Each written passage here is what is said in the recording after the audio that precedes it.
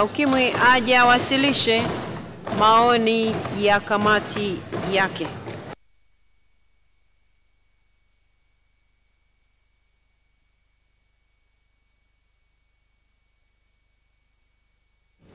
Mheshimiwa Spika, kwa mujibu wa kanuni ya 118 fasili ya tisa ya kanuni za kudumu za Bunge toleo la Februari 2023, naomba kuwasilisha mbele ya bunge lako tukufu taarifa ya kamati ya kudumu ya Bunge ya Afya na Masuala ya UKIMWI kuhusu utekelezaji wa majukumu ya Wizara ya Afya kwa mwaka wa fedha 2023 2024 pamoja na maoni na ushauri wa kamati kuhusu makadirio na mapato ya matumizi ya wizara hiyo kwa mwaka wa fedha 2024 2025. Mheshimiwa Spika, taarifa hii imegawanyika katika sehemu tatu kama zifuatazo.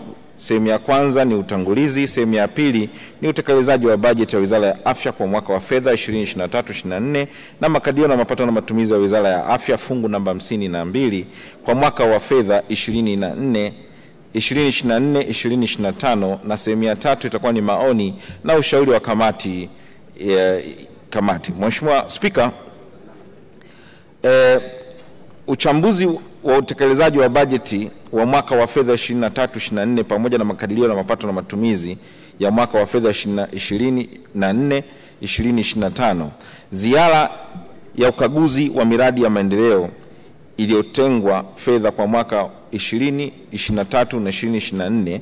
Mheshimiwa Spika, kwa mujibu wa kanuni ya 117 fasili ya kwanza ya kanuni za Bunge, kamati ya kudumu ya Bunge ya Afya na Masuala ya UKIMWI ilitembelea na kukagua utekelezaji wa baadhi ya miradi ya maendeleo iliyosimamiwa na Wizara ya Afya. Mheshimiwa Spika, jumla ya miradi mitatu ilitembelewa na kukaguliwa katika mkoa wa Mwanza na Geita. Lengo lilikuwa ni kujiridhisha na mwenendo wa utekelezaji wa miradi hiyo na kupima endapo utekelezaji wake utaweza kuyafikia malengo yaliyokusudiwa ya kuleta tija kwa wananchi. Mheshimiwa Spika, naomba kujulisha bunge lako tukufu kuwa katika miradi iliyokaguliwa miradi miwili imepokea, imepokea fedha kwa ajili ya kuanza utekelezaji wa mradi mmoja wa ununuzi wa vifaa tiba vya matibabu ya ugonjwa wa saratani katika hospitali ya kanda ya Ziwa Bugando. Hakuku, hakupo, hakupo, hakupokea fedha yoyote hadi kufikia mwezi Machi 2024. Mheshimiwa Spika, yatokanayo na ukaguzi wa miradi ya maendeleo iliyotengwa fedha kwa mwaka 2023/24. Mheshimiwa Spika, kufuatia ukaguzi wa miradi hiyo, kamati ilibaini mambo yafuatayo: A, fedha za miradi kutolewa kwa kuchelewa licha ya mwaka wa fedha kuelekea ukingoni. B, fedha kutolewa kwa kiwango kidogo chini ya asilimia 50 hadi kufikia mwezi Machi 2024. Se, ni che, ufinyu wa maeneo ya hospitali za rufaa za mikoa ikiwemo hospitali ya rufaa ya mkoa wa Mwanza Seketule ikilinganishwa na mahitaji ya miundombinu inayotakiwa kujengwa kwa ajili ya kuboresha huduma za afya. D, uhaba wa rasilimali watu katika hospitali za rufaa za mikoa na hospitali za rufaa za kanda ikiwemo hospitali ya rufaa ya kanda ya Bugando. E, mfuko wa taifa wa bima ya afya yani NHIF kukataa baadhi ya madai ya, ya fedha za malipo ya huduma za matibabu, mfano katika hospitali ya rufaa ya kanda ya Ziwa Bugando kwa mwezi Oktoba hadi Disemba 2023 madai yaliyokataliwa ni shilingi bilioni 4 bilioni 2.4 sawa na asilimia 20 ya madai yote yaliyowasilishwa kwa miezi hiyo mitatu. F, mfuko wa taifa wa bima ya afya kuchelewesha fedha za malipo ya huduma za matibabu kwa vituo vya kutolea huduma za afya, mfano katika kipindi cha kuanzia Januari hadi Machi, hospitali ya rufaa ya kanda ya Chato inadai kiasi cha shilingi milioni 377 laki tano eh, na elfu tatu mia nne hamsini na mbili na kipindi cha kuanzia Disemba hadi Machi, hospitali ya rufaa ya kanda ya Ziwa Bugando inadai kiasi cha shilingi bilioni 12. Mheshimiwa Spika, kwa ujumla imebainika kuwa mwenendo wa utekelezaji wa miradi ya maendeleo si wa kuridhisha ikilinganishwa na muda uliobaki wa miezi miwili tu kwa mwaka wa fedha wa utekelezaji wa miradi hiyo kuisha. Hali hii, hali hii itasababisha miradi kutokamilika ndani ya muda uliopangwa na kutokufanyika mata, kutokufanikia kutokufikia matarajio ya wananchi ya kupata huduma bora zilizokusudiwa. Vile vile kusababisha mabadiliko katika gharama za utekelezaji wa miradi hiyo endapo haitatekelezwa ndani ya muda uliopangwa. Kuhusu makusanyo ya maduhuli kwa mwaka wa fedha 2023 2024. Mheshimiwa Spika, katika mwaka wa wa wa 2023 2024 Wizara ya Afya ilikadiria kukusanya maduhuli ya shilingi milioni bilioni 677.6 kutoka katika vyanzo mbalimbali vilivyobainishwa. Hadi kufika mwezi Februari 2024 imekusanywa asilimia 62 ya lengo. Kwa ujumla, hali ya makusanyo ni ya, si, ni ya kuridhisha isipokuwa upande wa makao makuu ya wizara ambapo imekusanya asilimia 42 tu ya lengo, kiasi ambacho ni kidogo kulinganisha na muda uliobaki. Mheshimiwa Spika, ni imani ya kamati kuwa hadi kufikia mwisho wa mwaka wa fedha mwezi Juni 2024 kiasi chote cha makusanyo kitafikiwa kama ilivyokadiriwa. Kuhusu hali ya upatikanaji wa fedha ya mwaka 2023 2024, Mheshimiwa Spika, katika bajeti ya mwaka wa fedha 2022 2023 Wizara ya Afya fungu namba 52 iliidhinishiwa jumla ya shilingi trilioni 1.2. Mheshimiwa Spika, uchambuzi wa kamati umebaini kuwa hadi kufikia mwezi Februari 2024 hali ya utolewaji wa fedha hususan kwa ajili ya miradi ya maendeleo sio ya kuridhisha, kwani fedha za ndani kwa ajili ya miradi ya maendeleo zimetolewa kwa asilimia 35 na fedha za nje zimetolewa kwa asilimia 30 tu, kwa kielelezo ambacho tumekiambatisha kielelezo namba mbili. Mheshimiwa Spika, mwenendo huu wa utoaji wa fedha si wa kuridhisha, kwani unachelewesha utekelezaji wa miradi ya maendeleo. Ni muhimu sana serikali kuhakikisha fedha zote zilizoidhinishwa na, na Bunge zinatolewa kabla ya, ya mwaka wa fedha 2023 2024 kuisha ili kufikia malengo ya utekelezaji wa kila mradi uliokusudiwa. Kuhusu mpango wa makadirio ya mapato na matumizi kwa mwaka wa fedha 24 25 uchambuzi wa makadirio ya makusanyo ya maduhuli ya mwaka 20 na 24 25. Mheshimiwa Spika, makadirio ya, ya makusanyo ya maduhuli ya Wizara ya, ya Afya katika mwaka wa fedha 24 25 ni shilingi bilioni 556.8. Mchanganuo unaonekana katika kielezo namba tatu. Mheshimiwa Spika, uchambuzi wa kamati umebaini ongezeko la makadirio ya makusanyo kwa mwaka 24 25 ambapo imeongezeka kufikia shilingi bilioni 50 79 sawa na ongezeko la asilimia 12 ukilinganisha na makadirio na makusanyo ya maduhuli ya mwaka 23 24. Kamati inasisitiza serikali kuhakikisha inakuwa na mifumo imara ya ukusanyaji wa maduhuli ili kuzuia uvujaji wa mapato.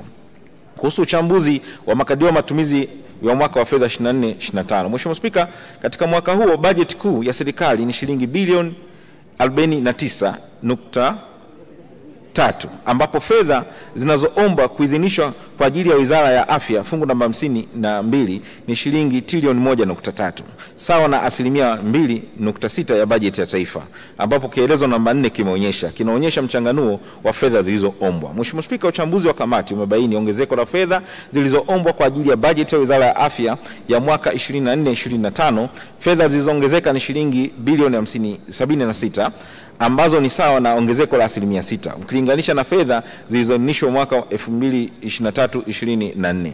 Hata hivyo, ongezeko hilo lipo katika fedha za matumizi ya kawaida ambapo zimeongezeka kwa asilimia 25.7 ukilinganisha na mwaka wa fedha 23 24. Mheshimiwa Spika, ongezeko kwa fedha za matumizi za- za kawaida zinahusu mishahara ya watumishi ambayo imeongezeka kwa asilimia 37.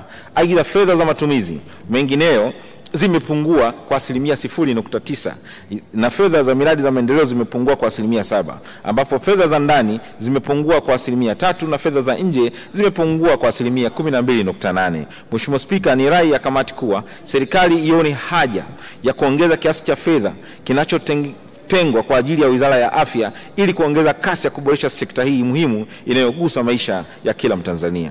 Mheshimiwa Spika, kuhusu bohari kuu ya madawa MSD. Mheshimiwa Spika, uchambuzi wa kamati umebaini changamoto ya mtaji wa bohari kuu ya dawa ambapo katika mwaka wa fedha 22/23 ombi la mtaji liliwasilishwa kupitia Wizara ya Afya. Mtaji ulioombwa ni shilingi bilioni 561.5 kwa ajili kwa mchanganuo kuwa shilingi bilioni 204 zinahitajika kwa kuwezesha ununuzi wa bidhaa za afya shilingi bilioni 66.9 kwa ajili ya ujenzi wa maghara shilingi bilioni 100.46 kwa ajili ya ujenzi wa viwanda na shilingi bilioni 191 kwa ajili ya malipo ya madeni ya washitiri na vituo vya kutolea huduma. Mheshimiwa Spika, ni muhimu sana kwa serikali kutoa mtaji unaoombwa, kwani ikiwa ni kiasi hiki cha mtaji kitapatikana, kitaiwezesha Bohari Kuu ya Dawa kununua mahitaji yote ya bidhaa za afya bila kusubiri fedha za vituo vya kutolea huduma za afya. Mheshimiwa Spika, kuhusu mfuko wa taifa wa bima ya afya yani NHIF. Mheshimiwa Spika, kumekuwepo na changamoto inayoikabili uendeshaji wa mfuko wa taifa wa bima ya afya, hali inayosababisha mvutano wa kusu, na kusuasua kwa ushirikiano kati ya mfuko wa bima ya taifa ya, wa afya NHIF na sekta binafsi ya afya. Baadhi ya sababu za changamoto hizo ni moja, a sheria ya mfuko wa taifa wa bima ya afya sura namba 395 kutokutambua uwepo wa sekta binafsi ya afya kama mnufaika wa mfuko wa taifa wa bima ya afya. B, kutoruhusu vituo binafsi vya kutolea huduma za afya kutumia mfumo wa kuchangia huduma za afya yani co-payment kwa wanufaika wa NHIF wakati mfumo huo unaruhusiwa kwa vituo vya kutolea huduma vya umma tu. Che, kuto, kukosekana kwa chombo huru na cha kudumu kinachoratibu na kusimamia bei za huduma ya afya. D ni kutokuzingatiwa kwa maoni ya wadau wa sekta ya afya kuhusu kitita kipya cha bei za huduma ya afya. Mheshimiwa Spika, kufuatia changamoto hizo, kamati inaona ipo haja ya serikali kutafuta ufumbuzi kwa haraka ili wananchi ambao ni wanufaika wa mfuko wa taifa wa bima ya afya waweze kuendelea kupata huduma za afya bora katika vituo vya kutolea huduma za afya wanavyopendelea. Mheshimiwa Spika, kuhusu huduma ya matibabu ya kibingwa na ubingwa bobezi. Mheshimiwa Spika, serikali kupitia Wizara ya Afya imeendelea kuimarisha kwa kiwango kikubwa uwekezaji katika utoaji na upatikanaji wa huduma za afya nchini ikiwemo huduma za matibabu za kibingwa na ubingwa bobezi zinazotolewa katika hospitali za rufaa za mikoa, hospitali za rufaa za kanda na hospitali za maalum za ya, ya kitaifa.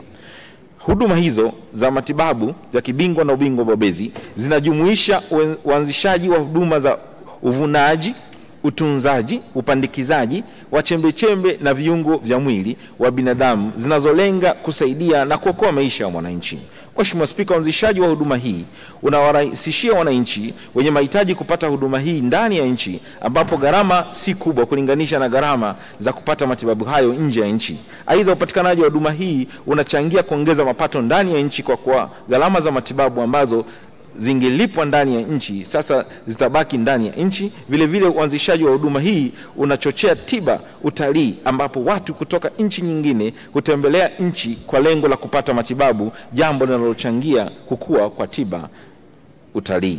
Mheshimiwa Spika, kwa kuzingatia umuhimu wa faida za utolewaji wa huduma hizi nchini, ni muhimu sasa serikali iimarishe na iweke mazingira mazuri ya utoaji na upatikanaji wa huduma kuhakikisha kuna kuwepo na sheria zinazosimamia utoaji wa huduma ya uvunaji, utunzaji na upandikizaji wa chembechembe za viungo vya mwili wa binadamu. Mheshimiwa Spika, kuhusu uwekezaji wa viwanda vya kuzalisha bidhaa za dawa.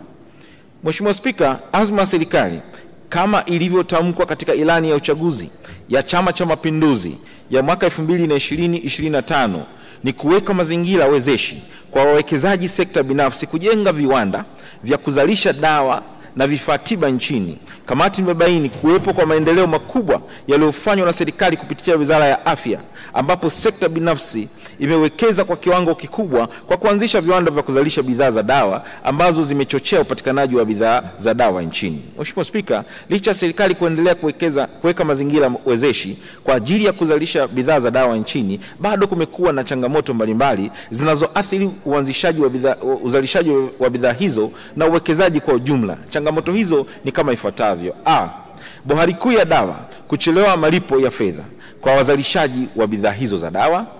B, kuwepo kwa mamlaka nyingi za udhibiti wa bidhaa za dawa na malighafi za kutengeneza bidhaa za dawa, kwa mfano mamlaka ya dawa na vifaa tiba TMDA, Tume ya Nguvu za Atomiki Tanzania TAEC, mamlaka ya maabara ya mkemia mkuu wa serikali bodi ya sukari Tanzania, shirika la viwango TBS, wakala wa vipimo na wengineo. Che, uwepo wa utitiri wa kodi wakati wa uingizaji wa malighafi za uzalishaji wa bidhaa za dawa na baada ya kuzalisha bidhaa za dawa. D, kukosekana kwa masoko ya uhakika ndani ya nchi kutokana na wan, wan, ushindani mkubwa wa bidhaa za dawa kutoka nje ya nchi ambapo bidhaa hizo huuzwa kwa bei ya chini, mfano bidhaa za dawa kutoka India na nchi kama China. E, ni kukosekana kwa nishati ya umeme ya uhakika viwandani ambapo inasababisha shughuli za uzalishaji kusimama kwa masaa kadhaa. Mheshimiwa Spika, ili kuendelea kulinda wawekezaji wa ndani na kuboresha mazingira ambayo yatavutia wawekezaji wengi ndani ya ndani ya nchi, ni zaidi vyema serikali kutafuta ufumbuzi wa haraka na kutatua changamoto zote zinazowakabili wawekezaji hao ili kuweza kuimarisha zaidi uzalishaji na upatikanaji wa bidhaa za dawa hapa nchini. Mheshimiwa Spika, ni kuhusu sasa maoni na ushauri wa kamati. Mheshimiwa Spika, baada ya uchambuzi wa bajeti kwa kuzingatia taarifa ya utekelezaji wa bodi ya mwa, eh, bajeti ya, ya mwaka wa fedha 23 24 pamoja na makadirio na mapato na matumizi ya mwaka wa fedha 24 25 kwa, ma, kwa Wizara ya Afya fungu namba 52. Sasa naomba kutoa maoni na ushauri wa kamati kwa lengo la kuboresha utendaji kazi wa wizara hii. Kuhusu upatikanaji wa fedha wa mwaka 23 24, serikali itoe fedha zilizoidhinishwa na Bunge kwa wakati kwa ajili ya kutekeleza na kukamilisha miradi ya maendeleo ya mwaka 23 24 uhaba wa rasilimali watu, serikali kwa kuzingatia umuhimu wa sekta ya afya nchini iendelee kutoa vibali vya ajira vinavyo vinavyokidhi mahitaji halisi ya hospitali na taasisi zote za afya ili kuwa na wataalamu wa kutosha na kufanikisha upatikanaji wa, na utoaji wa huduma bora za afya. Kuhusu ufinyu wa maeneo katika hospitali za rufaa za mikoa, Mheshimiwa Spika, serikali ipanue maeneo ya hospitali za rufaa za mikoa kwa ajili ya kuongeza miundombinu mipya katika hospitali hizo ili kuimarisha utoaji wa huduma za afya na kuweza kukidhi mahitaji ya wananchi wanaohitaji huduma katika maeneo hayo.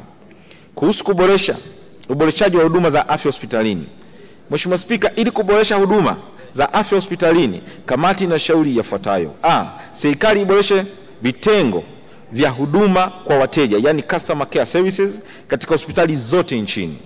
B, serikali iboreshe vitengo vya tehama katika hospitali zote nchini ili kuimarisha matumizi ya mifumo inayorahisisha utoaji wa huduma za afya kama vile mfumo wa malipo na mifumo ya taarifa ya matibabu ya wagonjwa. Kuhusiana na changamoto za uendeshaji wa mfuko wa taifa wa bima afya NHIF, Mheshimiwa Spika, ili kuboresha utendaji wa mfumo wa, wa, wa, wa, wa, mfuko, wa mfuko wa bima ya taifa pamoja na kuondoa mvutano uliopo baina ya mfuko wa taifa wa bima ya afya na sekta binafsi ya afya, kamati na shauri yafuatayo: A, serikali ianze mchakato wa kurekebisha sheria ya aina NHIF sura namba 395 ili kutambua sekta binafsi ya afya ambayo ni mdau muhimu sana katika sekta hii ya afya. B, serikali ilipe madeni yote inayodaiwa mfuko wa taifa wa bima ya afya ili kutokukwamisha shughuli za uendeshaji wa, mfumo, wa mfuko huo. Che, serikali ianzishe chombo huru mahususi na cha kudumu kitakachoratibu na kusimamia bei za huduma ya afya yani Health Services Pricing Board ambapo kitajumuisha wajumbe kutoka sekta ya umma na sekta za binafsi. D, mamlaka ya usimamizi wa bima Tanzania TILA iwezeshwe kisheria kwa kuwekewa kanuni chini ya sheria ya bima ya afya kwa wote ili kuipa mamlaka ya kudhibiti utoaji wa huduma za bima za afya nchini. E, vituo vyote binafsi vya kutolea huduma za afya ziruhusiwe kuwa na utaratibu wa mgonjwa kuchangia huduma yani co-payment, ambapo wamiliki wa kadi za NHIF watatakiwa kulipa kwa pesa taslimu gharama zinazozidi kiwango cha kitita kinachochangiwa na NHIF. F, mfuko wa taifa wa bima ya afya uimarishe mfumo wa tehama ili kukabiliana na changamoto za ucheleweshaji wa malipo na kudhibiti udanganyifu. G, tathmini ya kina iendelee kufanyika kuhusu kitita kipya cha bei za huduma za afya na kuhakikisha kitita kipya kinazingatia maoni na makubaliano ya wadau wote wa sekta ya afya kutoka sekta ya umma na sekta binafsi. H, NHIF ianzishe kamati ya wataalamu ambao watakuwa wanapitia malalamiko ya kitaaluma yanayowasilishwa na vituo vya kutolea huduma au wataalamu kuhusu bima ya afya, yani Technical Expert Review Committee. Vilevile kamati hii ishughulikie madai yanayokataliwa kulipwa, yani rejection, kwa vituo vya kutolea huduma za afya ili kupunguza malalamiko ya watoa huduma. Ai, serikali iunde kamati maalum ya kitaalum ya kitaalamu ya kupitisha na kutoa mwongozo wa aina za dawa, vifaa tiba na teknolojia ya tiba, yani Health Technology Assessment Committee zinazotakiwa kutumika katika utoaji wa huduma za afya. Kuhusu sheria ya bima ya afya kwa wote, Mheshimiwa Spika, kamati inaendelea kusisitiza kwamba serikali ikamilishe mchakato wa kufanya tathmini ya vyanzo na viwango vya fedha kwa ajili ya mfuko wa kugharamia watu wasio na uwezo kupitia sheria ya bima ya afya kwa wote. Ku- Kuhusu ucheleweshaji wa, wa malipo ya fedha ya huduma za afya kutoka kwa mfuko wa, wa taifa wa bima ya afya, mfuko wa taifa wa bima ya afya ul, ulipe kwa wakati madeni au madai ya fedha za wahudumu watoa huduma za afya kwa vituo vyao vyote vya kutolea huduma za afya vinavyoidai mfuko huo ili kuto kukwamisha utoaji wa huduma bora za afya katika vituo hivyo. Kuhusu ukosefu wa mtaji wa bohari kuu ya dawa, Mheshimiwa Spika, serikali itoe mtaji wa shilingi bilioni 561.5 kwa ajili ya bohari kuu ya dawa ili kuboresha upatikanaji wa bidhaa za afya, kusaidia uwekezaji kwenye viwanda na kuongeza uwezo wa kuhifadhi bidhaa za afya kwa kujenga magara ya kutosha. Kuhusu kuimarisha uimarishaji wa viwanda vya kuzalisha bidhaa za dawa, Mheshimiwa Spika, ili uwekezaji wa viwanda vya kuzalisha bidhaa za dawa uweze kuleta tija kwa Watanzania, kamati na shauri yafuatayo: a, bohari kuu ya dawa MSD ilipe kwa wakati fedha zinazodaiwa na viwanda vya uzalishaji wa bidhaa za dawa. B, serikali itoe msamaha wa kodi kwa malighafi zinazoingizwa nchini kwa ajili ya kuzalisha dawa au bidhaa za dawa. Che, serikali iongeze kodi kwa bidhaa za dawa zinazotoka nje ya nchi ambazo zinazalishwa na viwanda vya ndani. Na de serikali ihakikishe upatikanaji wa nishati yaani umeme ya uhakika hasa kwenye maeneo ya viwanda. Mheshimiwa Spika, kuhusu uvunaji, utunzaji na upatikanaji wa upandikizaji wa chembechembe za viungo vya mwili wa binadamu. Mheshimiwa Spika, serikali ikamilishe utungaji wa sheria ya uvunaji, utunzaji na upandikizaji wa chembechembe za viungo vya binadamu ili kuweka namna nzuri ya utoaji wa huduma hii kwa wananchi. Kuhusu usajili wa vituo vya kutolea huduma za afya, Mheshimiwa Spika, serikali iunde bodi moja ya usajili wa vituo vya kutolea huduma za afya nchini. Hatua hii itaweka ulazima wa vituo vya kutolea huduma za afya vinavyomilikiwa na serikali kusajiliwa na kukidhi vigezo kabla ya kuanza kutoa huduma. Mheshimiwa Spika, kuhusu ubia kati ya serikali na sekta binafsi katika huduma za afya, yani public private partnership, serikali iimarishe usimamizi na ifanye mapitio ya mikataba ya utoaji wa huduma za afya baina yake na taasisi zilizo za kiserikali zisizo za kiserikali zinazotoa huduma za afya, ili kuimarisha uhusiano na ushirikiano baina yake na taasisi hizo. Mheshimiwa Spika, naomba kuhitimisha kwa kusema napenda kukushukuru kwa kunipa nafasi hii kuwasilisha taarifa ya kamati mbele ya bunge lako tukufu. Vilevile napenda kukupongeza kwa namna unavyoliongoza bunge letu kwa umahiri mkubwa. Aidha, namshukuru sana Mheshimiwa Naibu Spika na wenye viti wote wa bunge kwa utekelezaji mzuri wa majukumu yao.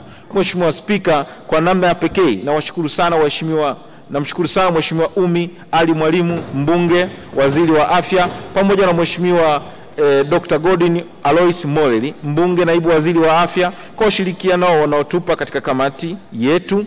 Wote namshukuru katibu mkuu wa Wizara ya Afya Dr. John Jing, naibu katibu mkuu Dr. Grace Magembe na mganga mkuu wa serikali Profesa Tumaini Joseph Nagu pamoja na watendaji wote wa wizara ya, na taasisi zake kwa ushirikiano mkubwa ambao wamekuwa wakiipa kamati wakati inapo, inapo wa utekelezaji wa majukumu. Mheshimiwa Spika, kipekee nawashukuru sana wajumbe wa kamati ya kudumu ya Bunge ya Afya na Masuala ya Ukimwi pamoja na Mheshimiwa Dr. Faustin Egbert Ndugulile mbunge, makamu mwenyekiti wa kamati kwa ushirikiano mzuri ambao ananipa wakati wa utekelezaji wa majukumu haya, na pia nichukue fursa hii kumtakia kila la heri katika nafasi anayogombea kule ambapo anagombea WHO katika nafasi ambayo ni kubwa.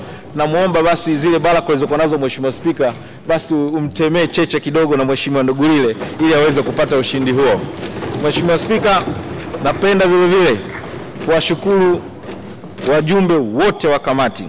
Mheshimiwa Spika, napenda kuwashukuru watumishi wote wa ofisi ya Bunge chini ya uongozi wa katibu mkuu ndugu Nenelwa Mwihambi NDC kwa kuwezesha kamati kutekeleza majukumu yake vyema na kuhakikisha shughuli zote za kamati zinatekelezwa kikamilifu.